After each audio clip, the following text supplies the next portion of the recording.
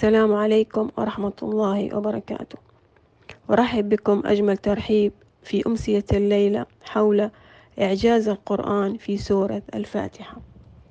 تتعدد أوجه الإعجاز في سورة الفاتحة بتعدد جوانب النظر فيها فكل حرف من حروفها وكل كلمة من كلماتها وكل آية من آياتها فيها إعجاز لفظي وبياني ودلالي وتربوي وكوني. كل آية من آياتها طالت أم قصرت. تشهد لهذه السورة بأنها معجزة لما فيها من قواعد عقدية وأوامر تعبدية وقيم أخلاقية وضوابط سلوكية وإشارات علمية. جاءت في السورة تفيض بجلال الربوبية وتتميز عن كل صياغ صياغة إنسانية مما يشهد لهذه السورة بالتفرد كما يشهد بإعجاز الإنسان عن الإتيان بشيء من مثلها.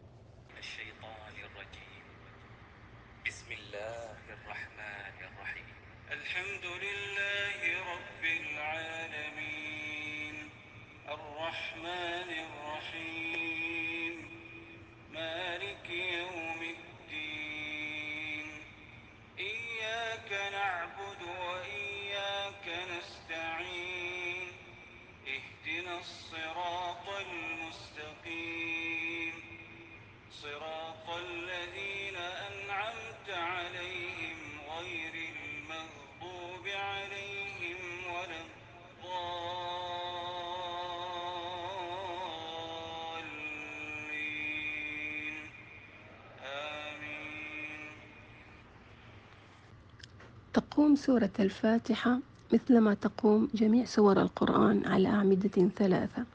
أولها التوحيد ثانيها التزكية ثالثها العمران. التوحيد شكل العمود الأساسي لمعظم السور وشكلها في سورة الفاتحة عمودها توحيد الربوبية وتوحيد الألوهية. تدور حول أوتاد أخرى تتناول التزكية والعمران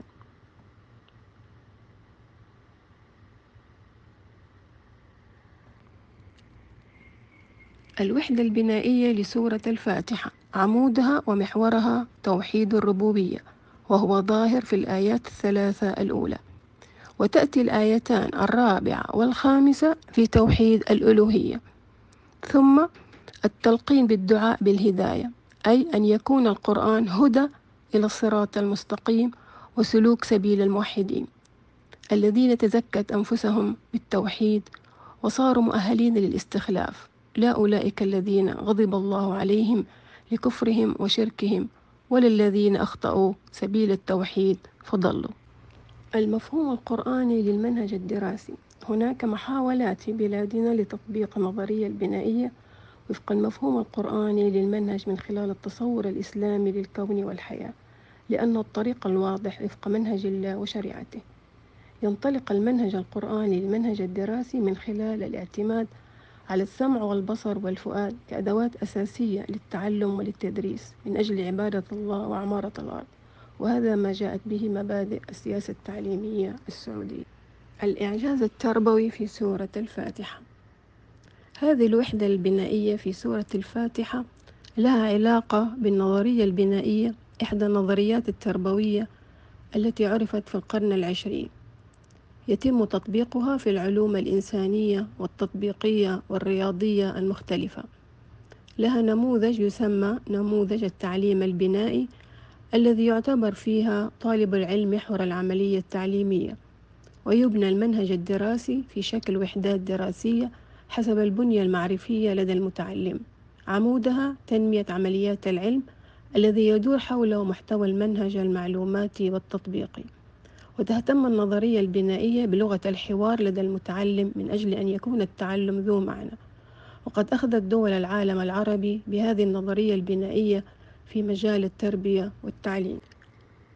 تقوم سورة الفاتحة مثلما تقوم جميع سور القرآن على أعمدة ثلاثة. أولها التوحيد ثانيها التزكية ثالثها العمران.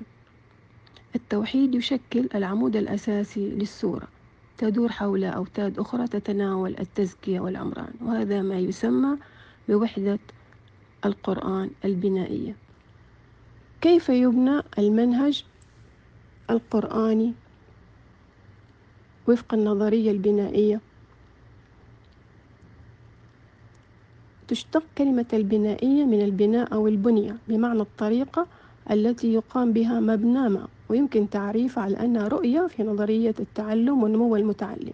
قوامها أن المتعلم يكون نشطا في بناء أنماط التفكير لديه نتيجة تفاعل قدراته الفطرية مع الخبرة. وتعبر البنائية في أبسط صورها وأوضح مدلولاتها عن أن المعرفة تبنى بصورة نشطة على يد المتعلم ولا يستقبلها بصورة سلبية من البيئة. فيتضح محتوى المنهج لسورة الفاتحة بالمخططات بالألوان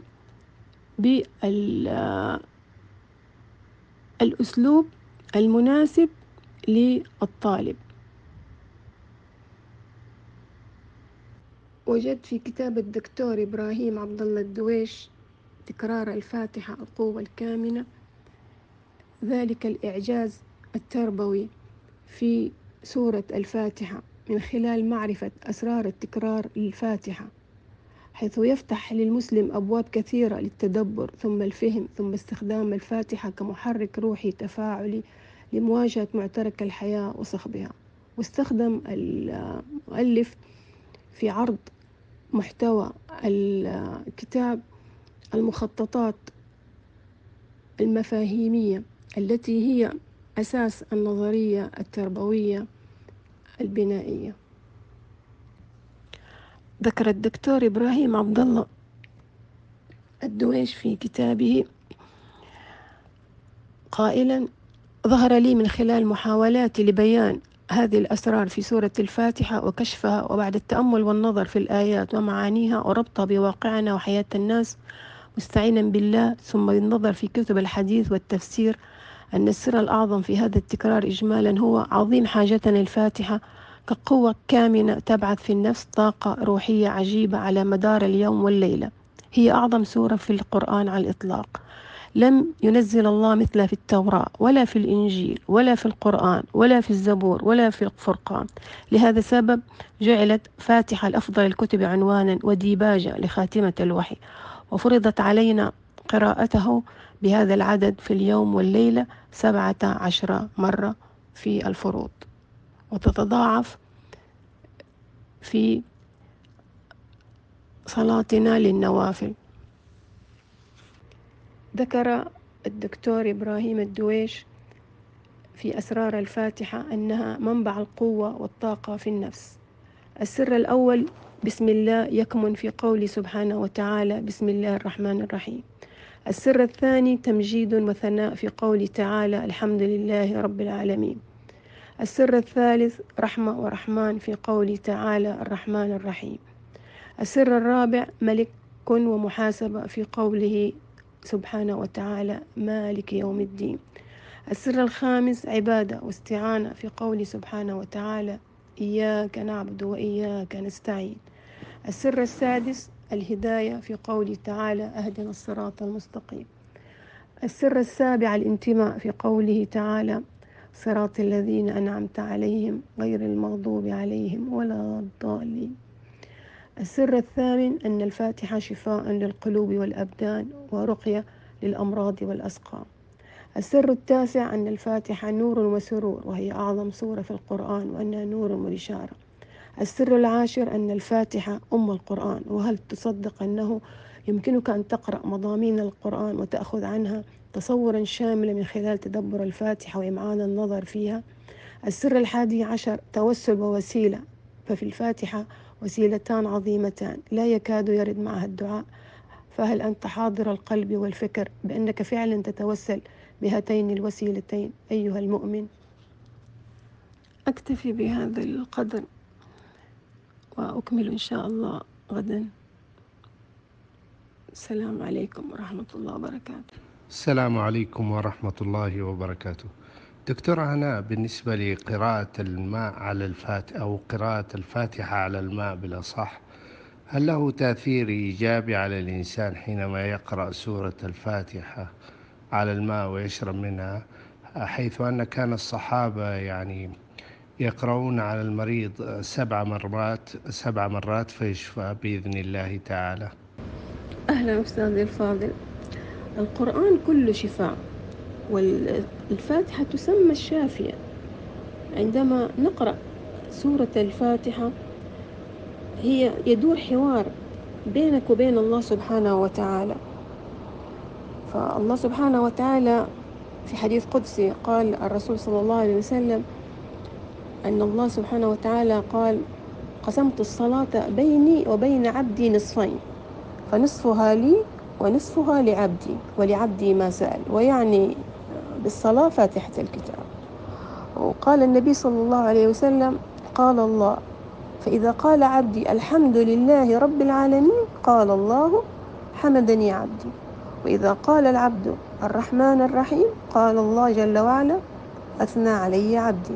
وإذا قال العبد في صلاته مالك يوم الدين قال الله جل وعلا مجدني عبدي. وإذا قال العبد إياك نعبد وإياك نستعين قال الله هذه بيني وبين عبدي ولعبدي ما سأل فإذا قال العبد اهدنا الصراط المستقيم صراط الذين أنعمت عليهم غير المغضوب عليهم ولا الضالين قال الله جل جلاله هذه لعبدي ولعبدي ما سأل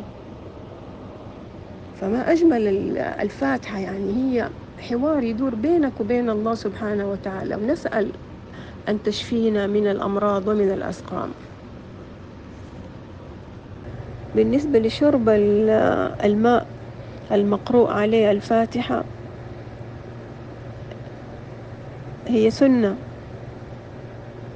كان الرسول صلى الله عليه وسلم يعني يوصينا بأن نسمي بسم الله وأن نقرأ قبل أن نشرب. وفي اليابان أجروا تجربة على مجموعة من الناس مسلمين وغير مسلمين ووجدوا أن مركب الماء يتحول إلى بلورة شكلها هندسي جميل بعد قراءة الفاتحة عليها. أو أي آية أخرى من القرآن.